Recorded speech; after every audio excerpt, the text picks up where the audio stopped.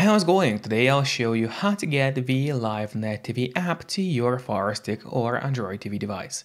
The whole process is pretty easy and will take you only a couple of minutes.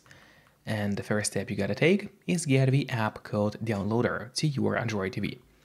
You can get it for free from your official Google Play Store, so just go to search on your Android TV device and start typing downloader in the search. So that's what we are doing Right now, just gotta enter downloader in here. Click on search and now the results should pop out. That's right, and here's the downloader, which you gotta get to your Android TV. But after you got downloader, it is not over yet, because you still have to set it up. So now in order to actually set up downloader, we need to go to settings on your Google TV. So click this button with a gear icon. Then you have to go to system, scroll down to about, open About, then scroll down again until you find Android TV OS build. That's exactly what we are looking for. You have to select it and then start clicking on the middle button on your remote. So let's do it.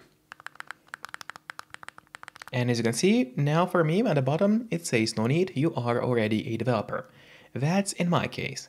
And in your case, it's going to say that you have become a developer now.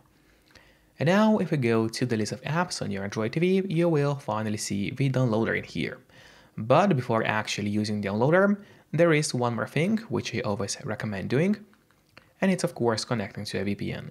In my case, I mostly use NordVPN because they're super fast, they got a great app for Fire Sticks, Android TVs, phones, laptops, or pretty much any other device you may use, and they are not expensive for such a premium service. In fact, they cost less than a cup of coffee per month, which is great pricing for us, the users. In a VPN app, just connect to any server. Let's say I will connect to Poland, and from the moment you connect, all your traffic is going to be totally encrypted. It means that no one can track you or snoop on you online. And that's really important if you want to stay out of trouble. And if you don't have a VPN yet, but you want to try it out, I do have a great offer for you.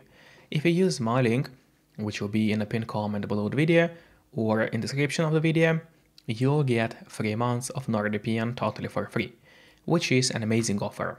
And if you're watching this video on your TV or on your Fire Stick, then just grab your phone or your computer, open up a web browser, and go to topvpnoffer.com.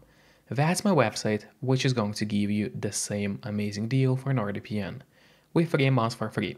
Or just scan the QR code, which you can see on the screen right now, with a camera of your phone. It works the same way, and it's also going to give you the same deal for Nord. And now, finally, let's use Downloader safely.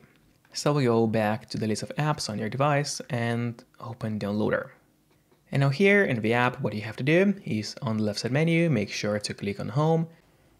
And now what you have to do in here is open the code, which will be, not open, but enter the code, which will be 504524. So once again, it's 504524. Just enter the code that you see, click on go. And now while it's loading, make sure to subscribe my channel, so you will get even more content about Android TVs. And then in a couple of seconds, a website is going to open, so you just scroll down a bit until you see download for Android. Click on download for Android, and now the download of the app will start. Usually it does not take long, but of course it all depends on your connection speed. Then click on install and wait a bit until the app is fully installed to your Android TV.